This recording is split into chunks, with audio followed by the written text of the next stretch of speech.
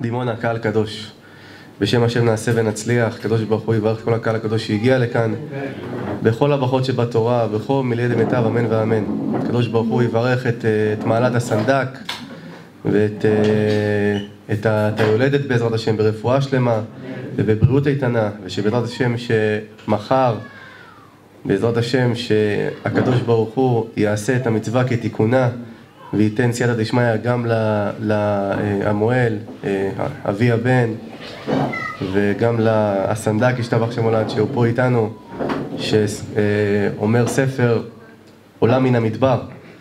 הוא כותב שכמה חשוב שהאבא, האבא של אבי הבן יישב על הסנדק, או האבא של, ה... של האימא בעצם. למה הוא אומר? אפילו, אפילו, אפילו, האבא לא שומר תורה או מצוות, מצווה לקרבו לשכינה ולשים אותו סנדק על הילד ומצוות כיבוד הורים קודם לעניין הזה של הסגולה שתלמיד חכם יישב סנדק על הילד.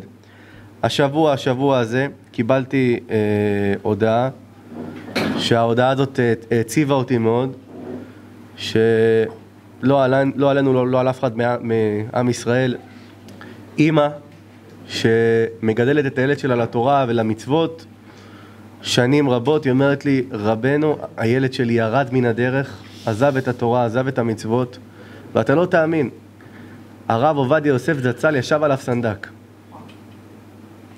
מפה, כן, הרב עובדיה זה ראש כל בני הגולה, הרב עובדיה זה גדול הגדולים, ענק שבענקים.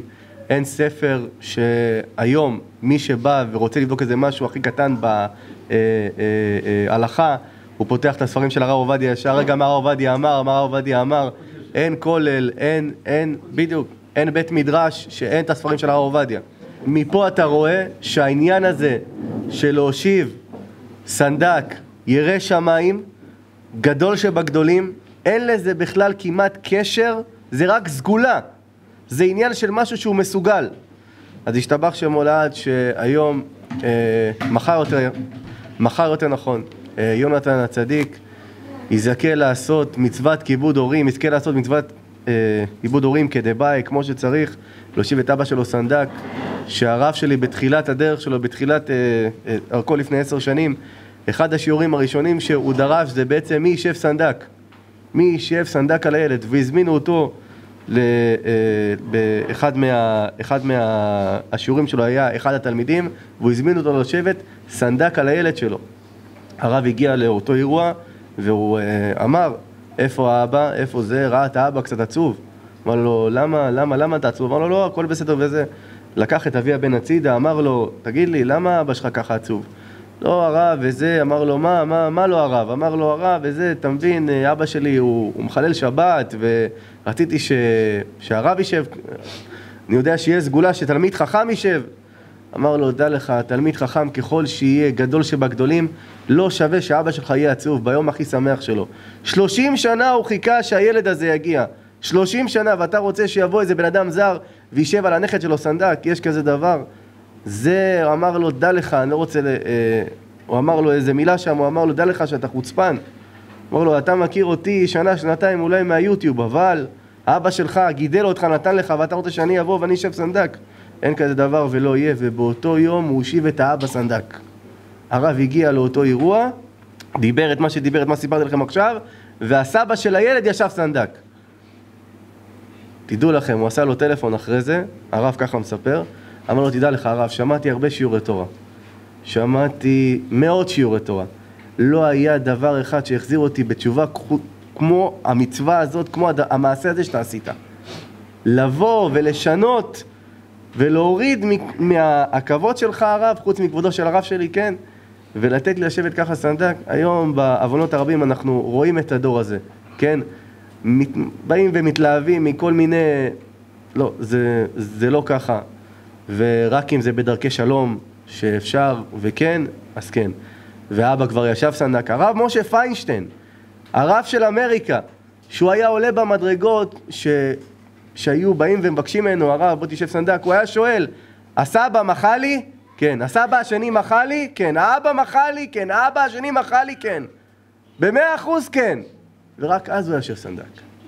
ככה זה היה גדולי עולם, ככה הם היו. ככה זה היה הכבוד שהיה להם למעלה הזאת של העניין שקוראים לו כיבוד הורים. מנהג עם ישראל הקדושים לערוך בלילה שלפני הברית מילה, ליל ברית יצחק. ואומר ספר אה, ברית בציון, ולמה שמו כך? מפני שיצחק אבינו הוא היה הראשון למול אחרי שמונה ימים. אברהם אבינו הביא את יצחק ורק אחרי שמונה ימים הוא מל אותו, לפיכך זה נקרא ברית יצחק. ומה עושים בלילה הזה?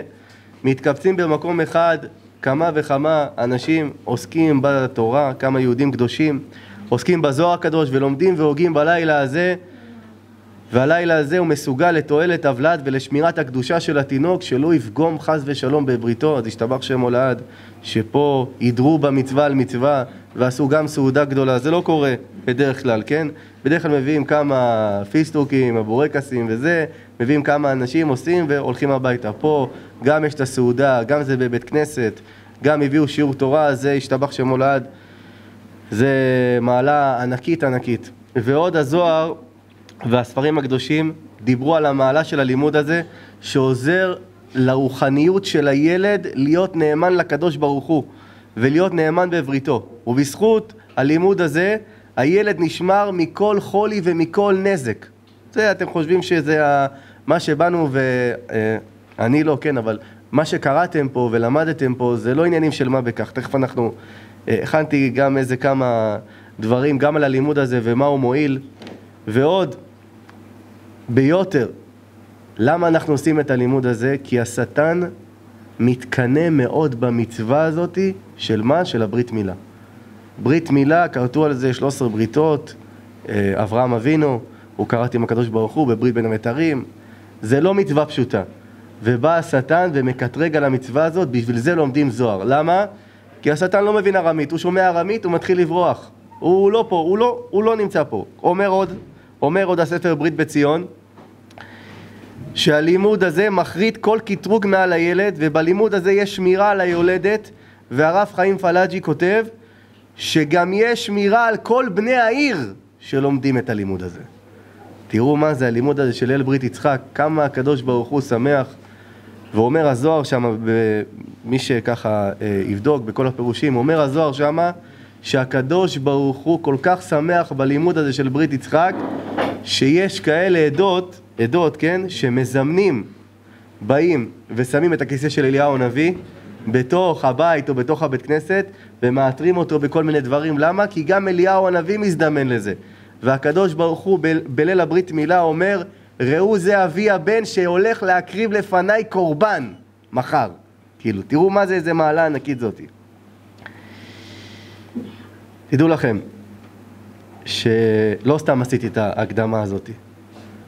הברית יצחק, כמו שידוע בכל החוצות, כן? זה בא להגן על הילד שלנו. זה בא להגן על הרך הנולד. זה בא להגן מפני הקטרוג של השטן. ויש אנשים, משתבח שמולד, שבאמת עושים את המצווה הזאת כמו, כמו שצריך. אבל, לצערי אני אומר את זה, כן? במהלך השנים בטוח, ואני סבור ובטוח שאף אחד פה הוא לא כזה, כן? אנחנו שוכחים להגן על הילדים שלנו גם בהמשך. בהמשך החיים אנחנו שוכחים מההגנות שאנחנו באמת צריכים להגן על הילדים שלנו. אנחנו נעבור עכשיו על כמה דוגמאות מהתורה שכמה אבותינו ורבותינו ואפילו לפניהם כל כך חשבו על הילדים שלהם והגנו עליהם בין אם זה בעולם הזה בין אם זה בעולם הבא. לא משנה מה הם עשו. לא משנה מי הם היו. לא משנה. אבל הם הגנו עליהם בחירוף נפש כל כך, שלא משנה איזה צער הם ציירו אותם, הם תמיד היו איתם. איתם אני אומר, זה ההורים עם הילדים. אומרת הגמרא במסכת ברכות בדף ז', ואמר רבי יוחנן משום רבי שמעון בן יוחאי, קשה תרבות רעה בתוך ביתו של אדם יותר ממלחמת גוג ומגוג. אומר רבי יוחנן משום רשב"י הקדוש, תדע לך, תרבות רעה בתוך הבית של הבן אדם יותר קשה ממלחמת גוג ומגוג. שיש לך ילד שמכור לסמים, שיש לך ילד שהוא מלווה בריבית, שיש לך ילד שהוא מכור להימורים, שיש לך ילד שבעצמו יש לו בית הימורים. אומרת הגמרא, תדע לך, זה יותר קשה ממלחמת גוג ומגוג. למה? גוג ומגוג זה שתי טילים וגמרנו. גוג ומגוג, אומר הנביא זכריה, נגמר. זה השם ירחם, מי שיקרא את הנבואה של הנביא זכריה על אחרית הימים, יראה מה זה מלחמת גוג ומגוג אמיתית, שהוא ניבא את מה שהולך להיות עכשיו. שתי טילים וגמרנו. אבל אומר רבי יוחנן משום רשב"י, רבי שמעון בן יוחאי, תדע לך שיש לך ילד רע בבית, זה יותר גרוע מגוג ומגוג. למה? כי, כי, כי זה גוג ומגוג כל רגע. כי זה גוג ומגוג כל שנייה. כי אתה יודע שהדפיקה בדלת הבאה שתגיע, אתה לא יודע מה זה הדפיקה הזאת תהיה. זה תהיה משטרה, או שזה תהיה, או שזה יהיה איזה חיפוש בבית, או שחס ושלום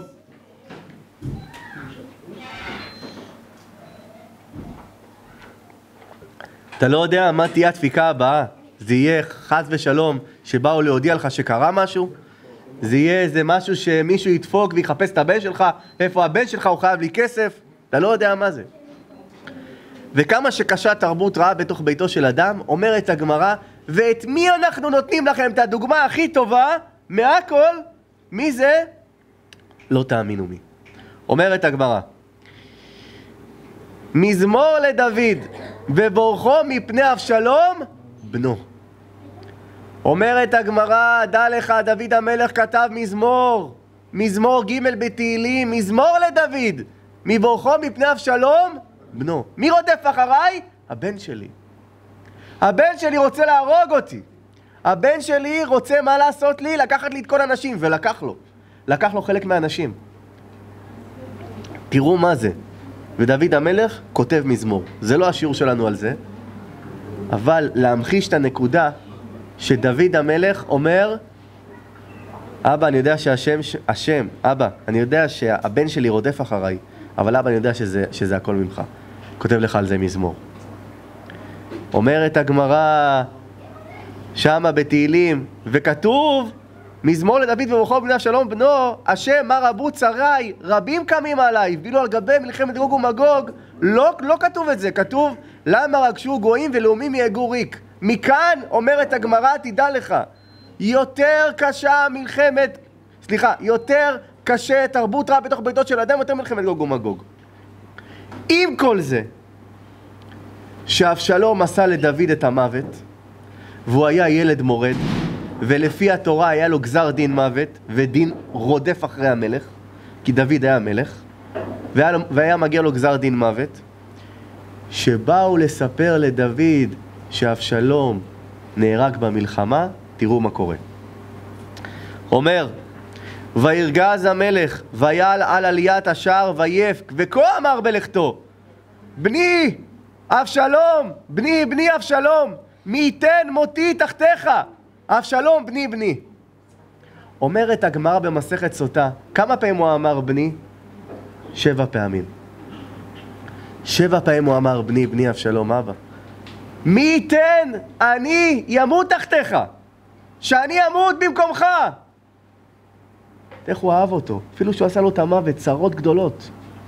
צרות שאתם לא מתארים לעצמכם.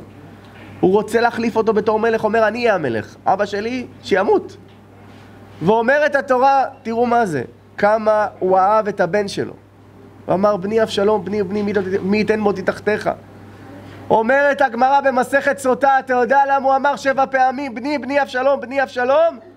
שבע פעמים להעלות אותו משבע מדורי גיהנום. בעולם הבא ישר הכניסו אותו לתוך השבע שערים של הגיהנום. ויעל על עליית השער, דוד המלך עולה לשערים ומתחיל לבכות. תוציאו, מהבן, תוציאו את הבן שלי מהגיהנום, בבקשה, תוציאו אותו. הוציאו אותו! למה? דעו לכם, לא משנה אף פעם מה הילד שלכם עושה. לא משנה מה הילד שלכם עשה לכם, תמיד תגנו עליו. תמיד תהיו איתו. אל תעזבו אותו. יש, ואני אגיד את זה במהלך השיעור כמה פעמים. סליחה. לילדים האלה, מי שפה, מי ששם על הידיים, מי שמתרוצץ פה בבית כנסת, לילדים האלה, דעו לכם, יש רק את ההורים. אין להם אף אחד אחר בעולם. לא המורה, לא המאמן כדורגל, לא הרב, לא המחנכת, לא אף אחד, לא הדוד, לא הדודה, אף אחד. יש להם רק את ההורים שלהם. ואליהם תמיד, נס... והעיניים של הילדים תמיד נשואות להורים. תמיד. לא לאף אחד אחר. אומרת התורה שעשו הרשע רדף אחרי יעקב אבינו. רדף אחריו. והגיע איתו למפגש בפרשת ויצא שמה. הגיע איתו שמה למפגש. שואל עשו את יעקב, מי אלה? איך הוא אמר לו? וישא את עיניו, וירא את הנשים ואת הילדים, ויאמר, מי אלה? תגיד לי, מי אלה? תראו מה זה, יעקב ידע שהולך לבוא עכשיו או מלחמה או שלום, מה הוא עשה? הפריט הילדים, חילק אותם עדר עדר, שם את כולם, שם רווח בין עדר לעדר, שחד ושלום אם הוא יתקוף חלק, חלק ינצלו, למה? רצה להגן על הילדים שלו. רצה תמיד, תראו מה זה, אבותינו תמיד חשבו להגן על הילדים, בסוף השיעור אתם תבינו גם למה. רצה להגן על הילדים שלו, רצה תמיד להיות עם הילדים, רצה שחד ושלום לא יקרה להם איזה משהו. ופוגש אותו עשו, והשאלה הראשונה שהוא שואל אותו, תגיד לי, מי אלה? מי אלה? אומרים המפרשים, עשו שאל אותו על מי? על אנשים. הוא ענה לו על מי? על הילדים. תקשיבו טוב מה הוא אומר לו. ויאמר הילדים אשר חנן אלוהים את עבדיך. אתם יודעים, אתה, אתה יודע מי אלה? אתה יודע מי אלה? זה הקדוש ברוך הוא חנן אותי. מה זה חנן אותי? מלשון תחנונים. אני כל כך התחננתי אליו שיהיה לי ילדים, שהקדוש ברוך הוא כך ריחם עליי ונתן לי בסוף ילדים. יש הורים, ואני לא מתבייש להגיד את זה, אחרי מחקר שעשיתי, זה שיעור שאני מכין אותו שבועיים, יש הורים, שאני אומר לכם את זה, לא, לא לקטרק חס ושלום, שח, שהקדוש ברוך הוא נתן להם ילדים והם מזלזלים כל יום שהקדוש ברוך הוא נתן להם ילדים. הם כל יום מזלזלים בילדים האלה שהשם נתן להם. כל יום. אני רוצה להגיד לכם איזה משהו, כן? לפני חודשיים, בהפרש של שבועיים, הייתי בשתי פנימיות. אחד בפנימייה בנתניה, אחד בפנימייה ב... במגדל העמק של הרב גרוסמן. אני רוצה להגיד לכם שמה ששמעתי שמה, לא חשבתי שאני אשמע באף מקום אחר בעולם. ואני רוצה לתת לכם קצת תמצית, תמצית קטנה. ממה שאני שמעתי שה...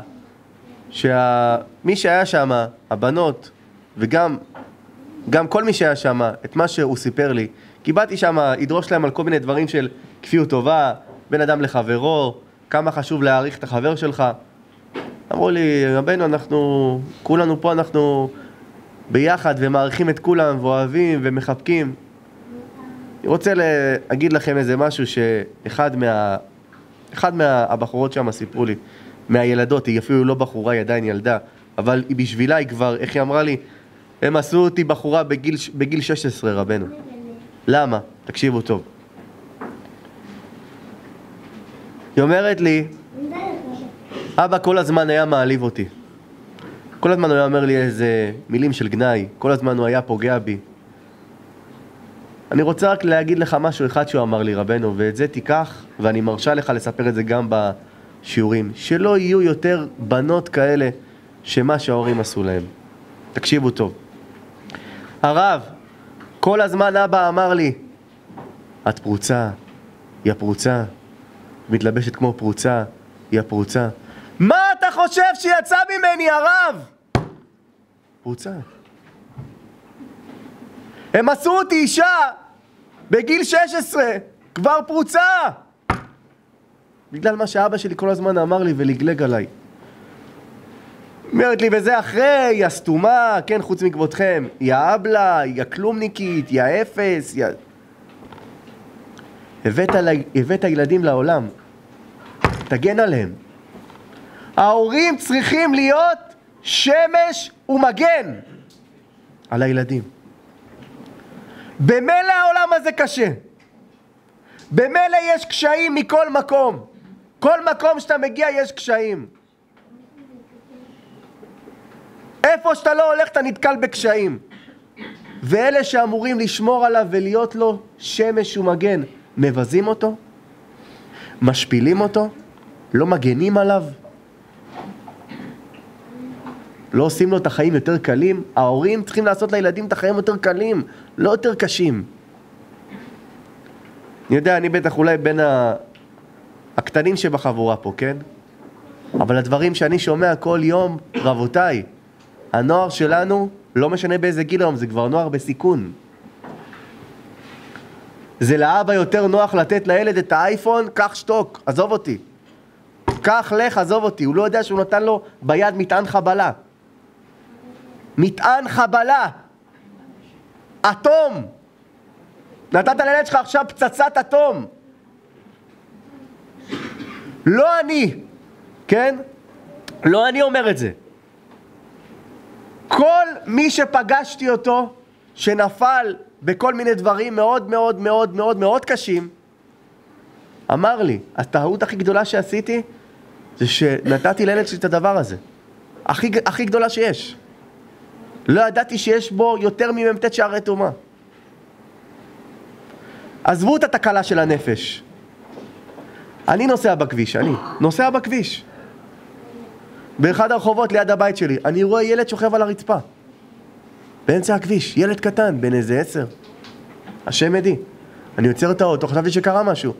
פתאום אני רואה את, את החבר שלו, ככה מבין המכוניות, הוא יוצא החוצה, החבר שלו יוצא החוצה מבין המכוניות. מה אני רואה? הוא מצלם אותו. אני אומר לו, בוא בוא הנה, מה אתה עושה? הוא אומר לי, לא, אנחנו עושים איזה אתגר, מה אתגר? מה אתגר? כמעט דרסתי אותך. הוא עושה אתגר טיק טוק. אחרי זה אני ביררתי מה זה. לראות, ידרסו, לא... אתה אתה דפוק? אתה, מה, אתה, אנחנו נהיינו נורמלים? אני רואה פה את החיוכים של האנשים, אני רואה שזה במודה היום, זה כבר בטרנד. זה לא, אני לא, אני לא המצאתי את זה עכשיו. שוכב על הכביש, ילד קטן בן עשר. אמרתי לו, אתה... תביא את הטלפון שלך רגע, תשאיר לאמא שלך. לא, לא, בבקשה, לא. תקשר לאמא שלך עכשיו! לא, לא, תקשר לאמא שלך, תקשר. תחזיק את הטלפון אתה. שלום, שלום. את אימא של פלוני? כן. את יודעת מה הבן שלך עכשיו עשה? וואי, מה, מה הוא עשה? מה הוא עשה? גברת, הוא שכב על הכביש. עוד פעם הוא עושה את השטויות האלה, היא אומרת לי. גברת, קחי לו את הטלפון. גברת, את רואה שיש בעיה עם הילד? שחררי לו את הטלפון. תני לו את הטלפון ההוא של ה-600, נוקיה 600. סנד ואנד. מחילה, חוץ מכבודכם, טמטמו את הילדים היום. אנחנו הורים, צריכים להגן על הילדים. זו המטרה שהבאנו את הילדים לעולם, להיות להם הגנה. מפני הכל. לפעמים זה מפני המורים גם. השבוע הזה, השבוע הזה, שני טלפונים שהגיעו אליי שזעזעו לי את כל, את כל המחשבה שהייתה לי עד היום. כל המחשבה שלי שהייתה עד היום, עד היום לא האמנתי שאני יכול לשמוע כזה דבר. היא אומרת לי, הטלפון, אימא אחת, שני אימהות, אימא אחת, היא סיפרה לי שהיא שלחה את בעלה עם הבן שלה לאיזה מקום. שלחה אותו. כן, חוץ מכבודכם. והילד אחרי זה, הוא חזר לבית עם האבא. אז uh, היא אומרת לו, לילד, הכל בסדר? ילד בן ארבע, רבותיי, בן ארבע. לא, אמא, יש לי, נראה לי שיש לי זה, נראה לי יש לי משהו במכנסיים. השתקעה לי, ראתה, כן, חוץ מכבודכם. אתה... זה, של, זה של גבר, אנסו את הילד. אנסו את הילד שלה, בן ארבע. האבא לא שם לב, לא יודע איפה האבא היה, לא שם לב, אנסו את הילד בן ארבע. לקחו דנ"א אחרי זה, זה לא האבא, זה לא כלום, פתחו באיזה... תקשיבו, תקשיבו רבותיי, תקשיבו מה אני אומר לכם. אל תסמכו על אף אחד. קרבה ראשונה בלבד. יום הולדת. אשתי שואלת אותי, אומרת לי, אה, אמרו שההורים לא באים, זה רק הילדים. אל תשלחי את הילדים. אני אקנה לילדים את המתנה עם השקית בבית. אם ההורים לא מגיעים ליום הולדת, אה, ויש לי... הילדים שלי קטנים. אם ההורים לא מגיעים ליום הולדת ביחד עם הילדים, אנחנו לא זה. לא אמרו בלי הורים. בלי הורים, אז בלי הורים. מי מגן על, מי מגן על הילדים האלה? רק ההורים. אימא שלחה את הבן שלה, את הבן שלה להסתפר, בן 14 וחצי. אותו סיפור. מי עשה לו את זה? זה שסיפר אותו, הספר. הלך. אנשים פסיכופטים היום, רבותיי, עם כיפה, בלי כיפה, עם זקן, בלי זקן, אתה לא יודע מי חרדי היום, אתה לא יודע מי... אתה לא יודע, אתה לא יודע. אתה לא יודע, רבותיי. אתה לא יודע. יום אחד אני שמעתי את הרב שלי, שהוא מדבר עם אחד מה... מה... של הבן שלו. אמר לו, הבן שלי, שמדברים איתו שיחה ביחידות, לא סוגרים את הדלת. משאירים את הדלת פתוחה. לעולם. אם הבן שלי יגיד לי שסגרו את הדלת אחריו, שאני לא אמשיך, הוא אומר. עם כיפה, בלי כיפה, עם זקן, הילד זה לפני הכל בחיים. איך הוא אומר? אני אשב במעשיהו, אני אלמד תורה עשרים שנה, אבל בילדים שלי אף אחד לא ייגע. רבותיי, הילדים האלה, תסתכלו עליהם, זה שפה בעגלה, להבדיל לפי הבדלות, זה ההמשך שלנו. שהקדוש ברוך הוא רצה לברך את האבות, את מי שהוא אהב, את מי הוא בירך? את זרעך. וידגו לרוב בקרב, כל הזמן את מי הוא בירך? לא אותו, את ההמשך. כי מי חשוב? ההמשך. הייתי באיזה שיעור דווקא לא מזמן, איזה מישהו אמר לי, כן, אני אספר את זה ככה, הייתי בשבעה, לא על אף אחד מעם ישראל, של שלושה אחים שהם קברו את אימא שלהם. ואחד מהם בא אליי בסוף הדרשה שנתתי, אנשים מאוד מאוד עשירים מהרצליה, מאוד עשירים. היו שם איזה ארבע, תבינו, ארבע סוכות אוהלים, הביאו מערכת סיראונד שישמעו את מי שדורש ומי שמתפלל בכל כל האוהלים. ונתתי שם דרשה, זה שני אחים שאני לא רוצה, כן, שלא, שלא יהיה איזה משהו, איזה, איזה לשון הרע, שהחברה של הבקבוקים שלהם נמצאת על השולחנות פה, בסדר? חברה של הבקבוקים שלהם, שהם הבעלים, היא, היא נמצאת על השולחנות פה, זה מקרה מאוד נדיר, בדרך כלל היא לא נמצאת, פה היא נמצאת. ואחד, האח השלישי, הוא אלוף משנה בצה"ל. ונתתי שם דרשה חזקה, והגיע אליי אחד האחים ואמר לי, רבנו, אני יכול לבקש ממך משהו? אמרתי לו, תראה, אם זה קשור בכסף או זה אני, זה לא אני. אומר לי, לא, לא, זה גם, אבל זה לא. אמרתי לו, מה?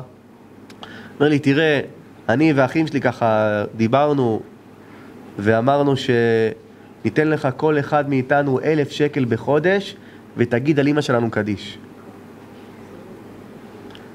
אמרתי לו, אתה יודע, עם כל הכבוד, כן? אמא שלך אותי חיתלה? אומר לי, מה? אומר לי, אמא שלך רצה איתי לחיסונים, לבית ספר, לתיכון, לצבא. בזכות מי אח שלך נהיה כזה צ'יפ קומנדר גדול אם לא בזכות אמא שלך? אתה רוצה שאני אגיד עליה קדיש? הוא התחיל ככה, ראיתי שהוא מתחיל ככה לדמוע וזה. אמרתי לו, תקשיב, איפה הערכה כלפי ההורים? אמרתי את זה באותו מעמד של השיעור, רבותיי, תדעו לכם. ותדעו לכם, כל מי, ש, כל מי שיושב פה, מי שמגדל את הילדים שלו במקום שלא מלמדים שם להגיד קדיש, לא מלמדים שאבא ואמא זה שווה אלוקים, הוא בבעיה מאוד חמורה יהיה. מי שאין לו מי שיגיד עליו אחרי זה קדיש, הוא בבעיה. כי כל הילדים, כל המהות של העולם הזה שהבאנו אותם לפה זה לגדל אותם לתורה, למצוות ולמעשים הטובים כי רק זה יועיל לנו בעולם הבא, ליל... תדעו לכם, הילדים זה המקום הראשון בהכל תפתחו, זוהר פרשת אחרי מות, דף מ"ט. כל הסיפור שם, אני לא אספר אותו עכשיו. רבי עקיבא, שראה את האיש ההוא שהוא נשרף, מה זה, בגלל שהבן שלך, יש לך בן? אמר לו כן, אמר לו הבן שלי רשע קדיש, הוא לא אומר עליי אפילו. והוא נשרף בעולם הבא. רבותיי, הילדים האלה זה הדבר הכי הכי חשוב היום. כי רוצים לדרדר אותנו במדינה הזאת לתהום אתם לא יודעים, אני לא יודע אם אתם שמים לב או לא שמים לב, כן, יש היום הרבה עידוד לפדופיליה. מראים את זה כבר בחדשות, מראים את זה כבר בכל מיני מקומות. מראים איזה נזיר בודהיסטי אחד שמנשק ילד קטן, אתם ראיתם את זה, למי שראה את זה? נזיר אחד שלבוש, ראו את זה בכל החדשות בעולם. ילד.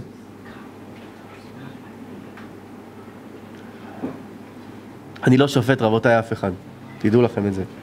לגדל ילדים זה ניסיון לא, לא פשוט בכלל. במיוחד הקושי הענק שיש היום בכל מיני גזרות, בכל מיני מגזרים, הן במגזר הדתי, החרדי, החילוני, בכל מקום יש היום קושי גדול בגידול הילדים, צער גידול בנים. יש בזה הרבה קושי גדול, ואני יודע את זה. בין בקרוב אליי, בין ברחוק, אני יודע את זה שזה קשה. אבל הדבר הכי הכי הכי חשוב שאנחנו צריכים לזכור את זה, זה שהילדים שלנו זה ההמשך שלנו. זה ההמשך של החיים. יש איזה, יש איזה מישהי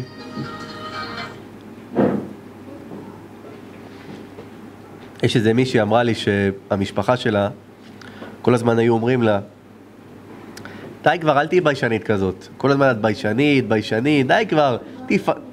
איך בלשון העם? תיפתחי כבר וזה, לא היה לה שום דבר. לא, אפילו לא היה לה סמארטפון, כלום. כלום, כלום, לא היה לה סמארטפון, שום דבר. כלום. וכל הזמן המשפחה ככה לחצו עליה, תפתחי, די כבר, מספיק, את כזאת כל הזמן סגורה, את ביישנית, את זה. היא הייתה ילדה ביישנית כל כך, היא לא הייתה מרימה את האף לאף גבר. לא הייתה, מישהו, מישהו אומר לה שלום, היא לא הייתה עונה לו אפילו, כלום. וככה גם החברות וגם החברים לחצו עליה כל הזמן, אמרו לה על העניין של הביישנות. ופתאום ביום אחד, בום, כל כולה, כל כולה, איך אומרים, כל כולה אמרה, טוב, אז לא ביישנות, אז כבר נעשה את זה עד הסוף. והיא יצאה לא רוצה להגיד לכם להשתמש במילים שחד ושלום שהן לא יפות. יצא לתרבות רעה, הכי רעה שאתם יכולים לחשוב. מי השפיע עליה, אתם יודעים? החברה. החברה השפיעה עליה. אומר הרמב"ם בהלכות דעות, דע לך, אם אתה רואה חברה רעה מסביבך, בעיר שלך תעזוב את העיר. אם אתה רואה סביבה רעה במדינה שלך, תעזוב את המדינה, תגור במדבר. ככה פוסק הרמב"ם. למה חברה רעה יכולה להוליד, להוליך את האדם למקום הכי שפל שיש בעולם. שימו נרקומן בחברה של אנשים שהם לא נרקומנים, בסוף הוא ייגמל. אבל שימו בן אדם שהוא לא, אף פעם לא נגע בסמים בחברה של נרקומנים, הוא יהיה נרקומן.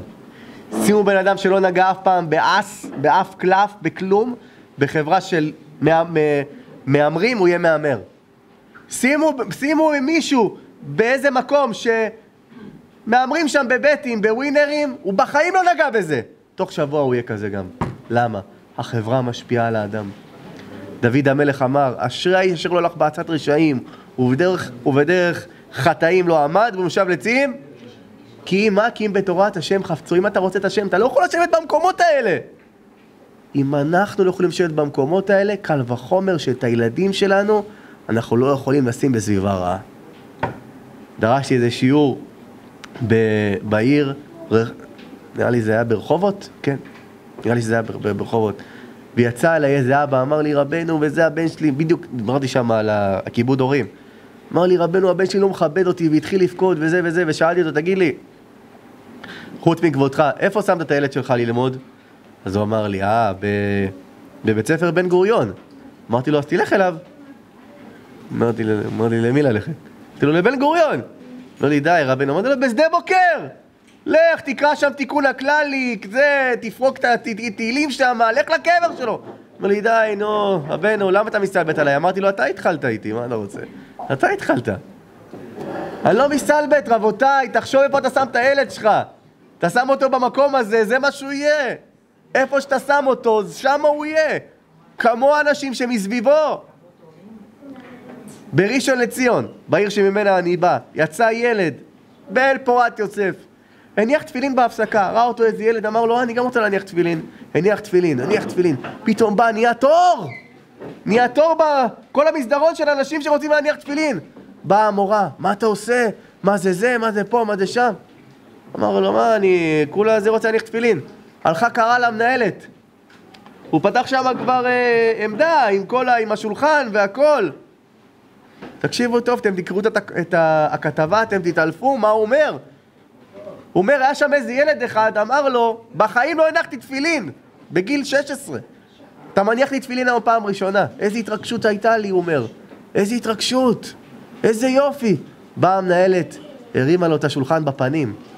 אמא אב בית, מה, מאיפה לקחת את השולחן הזה? אמר לה מאב בית, תחזיר אותו! מה זה, מה זה צריך להיות? מה זה פה? מה נראה לך שאתה עושה? מה נראה... מה, הניח תפילין לילדים? אבל אם, אם, אם הוא היה מחלק להם שם סטייקים של, ה, של הבשר לבן, אה, אה, זה מבורך. אם הוא היה אומר שם כל מיני... אם הוא היה עושה, בוא נגיד ככה, דברים אחרים ושולח להם כל מיני סרטונים שהם לא טובים, זה בסדר, זה אין בעיה. אבל דרך, הדרך, הדרך שלנו היום, רבותיי, מה יש בתפילין? רבותיי, מה יש במצוות שכל כך מפחדים מהם? הכל בשבילם היום זה הדתה, הדתה. יותר חשוב לבן אדם היום שהבן שלו ילמד אלגברה, שילמד... אה... בואו בוא, בוא, בוא, אני אקריא לכם איזה משהו.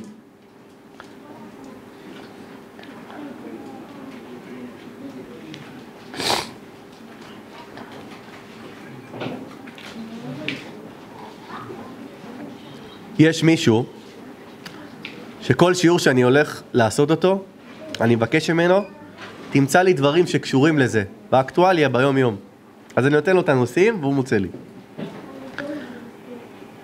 קהל קדוש, אני רוצה שתקשיבו היום למה שהבחור הזה מצא לי, ואם יש משהו שאני רוצה שתיקחו מהשיעור הזה, זה את החלק האחרון הזה של השיעור. כי כל השיעור הזה היה הכנה רק בשביל הרגע הזה. ואני רוצה להגיד לכם איך זה מתקשר אליי. הוא שולח לי, הוא שולח לי פוסט בפייסבוק שהוא קרא אותו, תקשיבו טוב.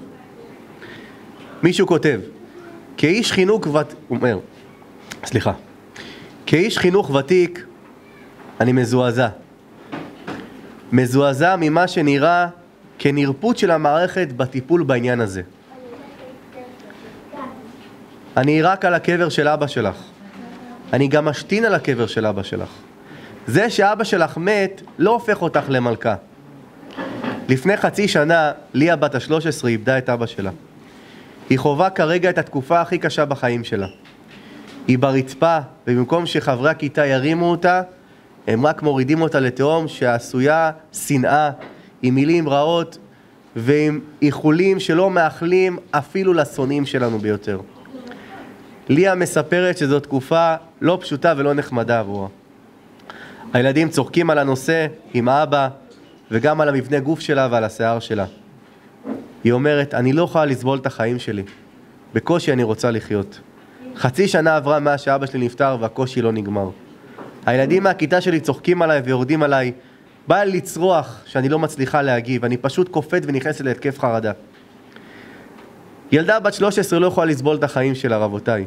בקושי רוצה לחיות. אתם קולטים את זה, הוא אומר? אלו המילים שלה, לא שלי. אני לא מבין, מה אנחנו מגדלים כאן? ילדים או מפלצות? מה קורה פה? איפה המחנכת? איפה המנהלת? למה הם מחכים? שעוד ילד יתאבד? ילדה בת 13 הולכת להפסקה, בהפסקה, לכיתה אחרת, כי הכיתה שלה מטביעים אותה באוקיינוס של רוע. במקום לתת לה אוויר לנשימה, איך אפשר לנשום ככה שהאוויר שאתה שואם, ש... איך אפשר לנשום ככה שהאוויר שאתה נושם מזוהם כל כך? בעל כורכך אתה נחנק מהדמעות והבדידות. אימא של ליה ביקשה להעביר אותה כיתה, אבל אין מקום בכיתות אחרות. אימא של ליה, שעוסקת באימון וטיפול רגשי, ביקשה לנאום בפני ילדי הכיתה, והיא נפלה לאוזניים ערלות. כנראה לבית ספר יותר חשוב לה, להעביר לילדים חומרי לימוד של אלגברה, מאשר ללמד אותם על ואהבת להערכה כמוך.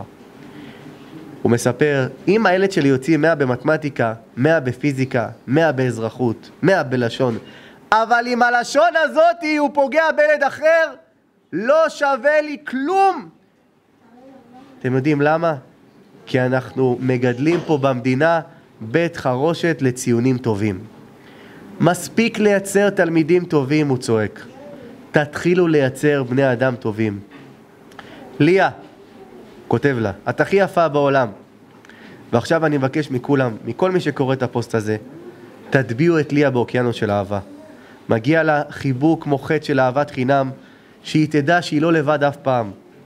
לאף ילדה בת 13 לא מגיע לעבור את מה שהיא עוברת כרגע. תראו לה אהבה. אתם יודעים למה התחברתי לפוסט הזה? להבדיל אלף אלפי הבדלות, גם לילדה שלי קוראים ליה. חשבתי לעצמי לרגע אחד, מה יכול להיות שאבא לא נמצא בעולם? חשבתי רק לשנייה אחת, מה יכול לקרות חס ושלום אם אני לא אהיה פה? מי יגן עליהם?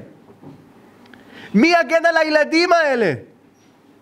מי ישמור עליהם? אם לא ההורים, אם לא אבא. אבל אבא כבר לא פה, היא אומרת, היא בוכה. והילדים הורגים אותי. הם רוצחים לי את הנשמה. אתם יודעים, תגידו שאני אמרתי את זה. תגידו שאברהם בשיעור אמר את זה. ילד שעובר חרם בכיתה, אל תשלחו אותו לבית ספר. פיקוח נפש דוחה את כל התורה, דוחה את השבת, פיקוח נפש דוחה גם את אלגברה. שלא ילמד.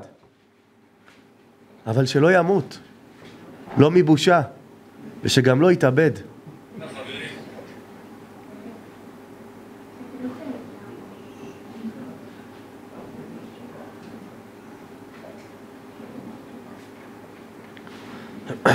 דרור אלעמי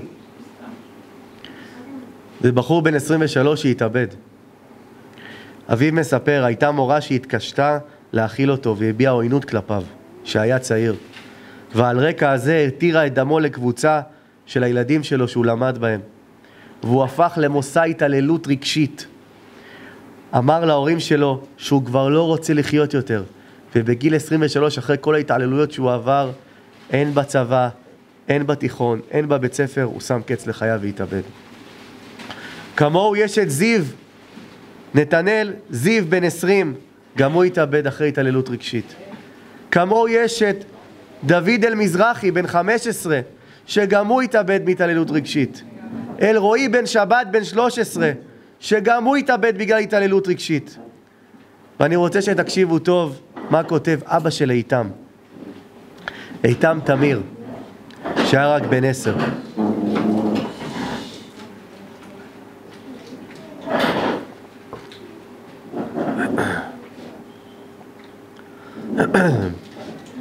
כותב אבא של איתן תמיר, שהיה בן עשר. בכניסה לחניון היו ניידות, ואחת השוטרות אמרה לנו שהבן שלנו נפל. לא ידענו מאיזה, מאיזה מהבנים עוד מדובר, והתחילו כבר המחשבות לרוץ. עלינו לדירה בליווי שוטרים והסתכלתי למטה מהמרפסת, הוא כבר לא היה שם. אבל ראיתי את הדם, זה משהו שהוא רדף אותי חצי שנה אחרי זה עוד. פיזית הרגשתי שלוקחים סכין ומכניסים בי ומסובבים.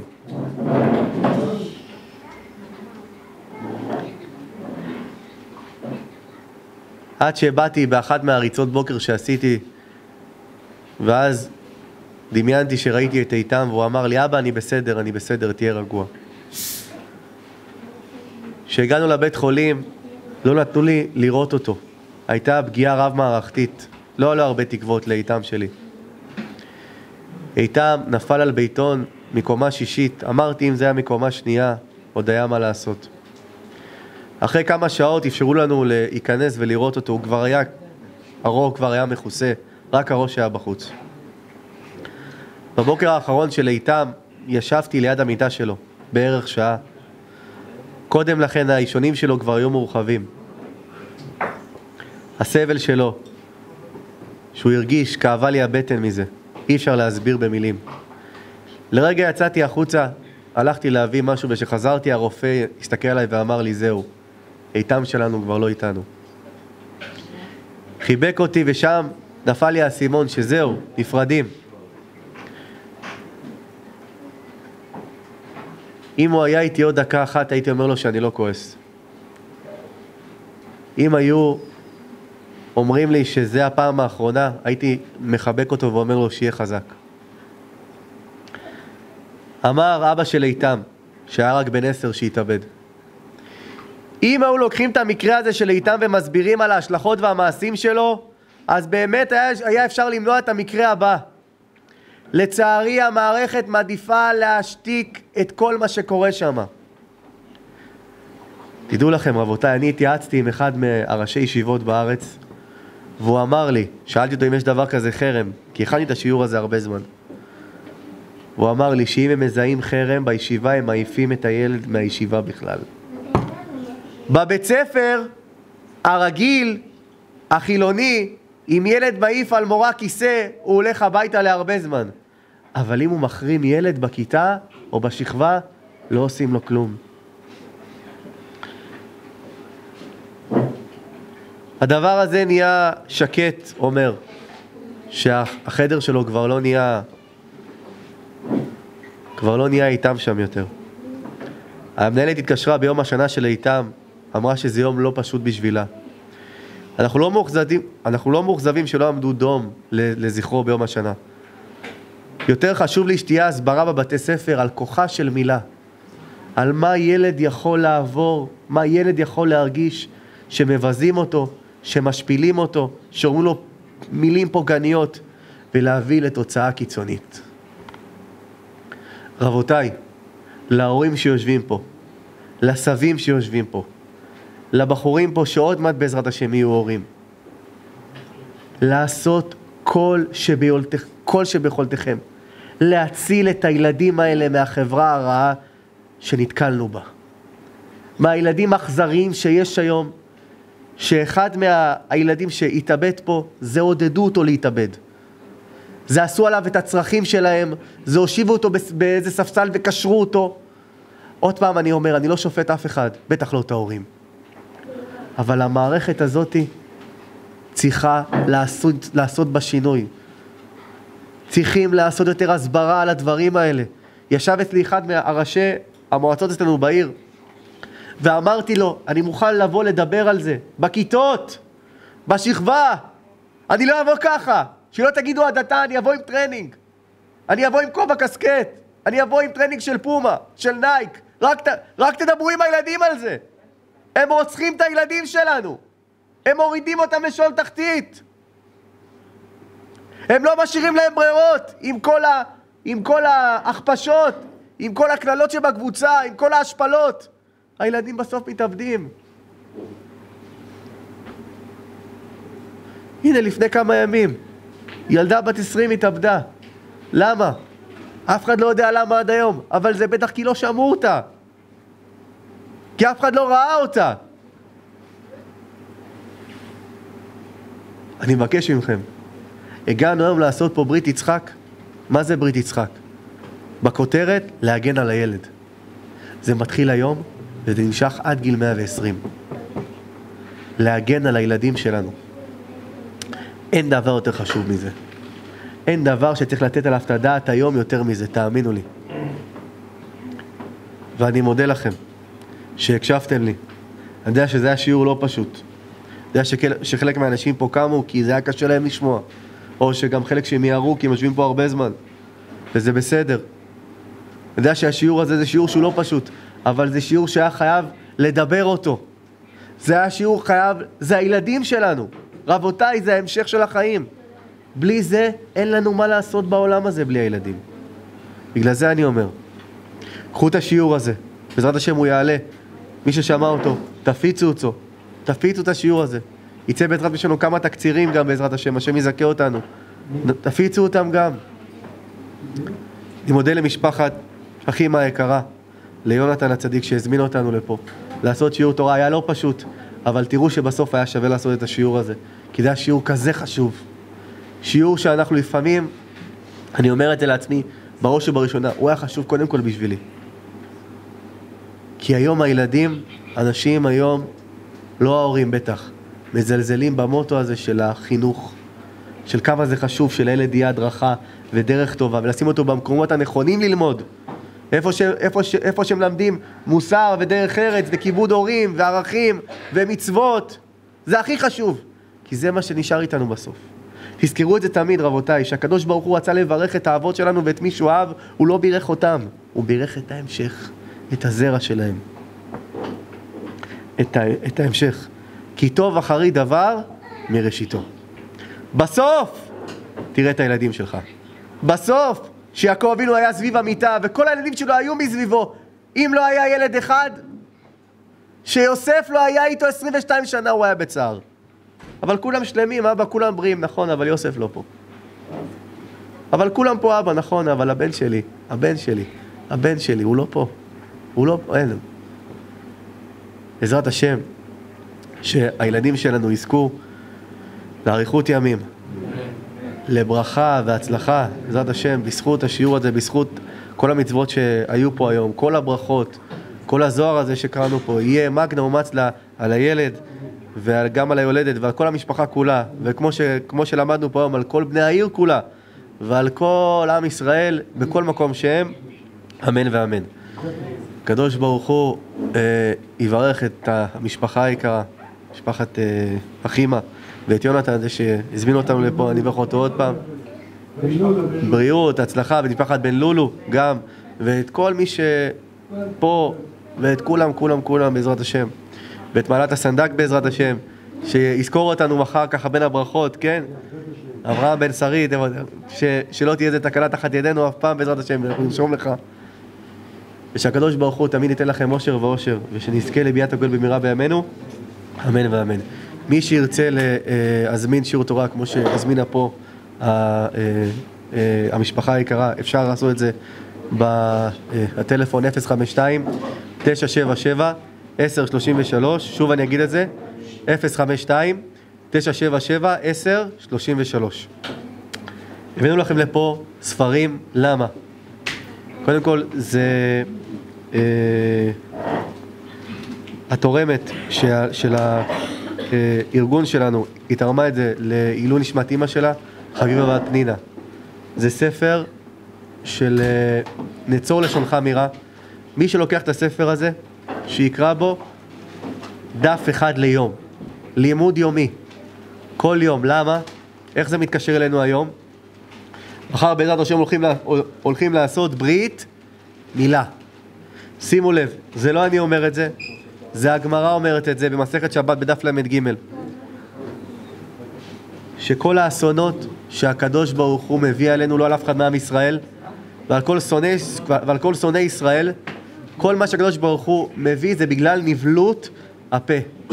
מי שילמד בספר הזה יראה קודם כל ישועות גדולות, הוא ילמד מה אפשר להגיד, מה מותר להגיד, מה חשבנו שמותר להגיד, ואנחנו, אחרי שלמדנו, אנחנו רואים שאי אפשר להגיד את זה.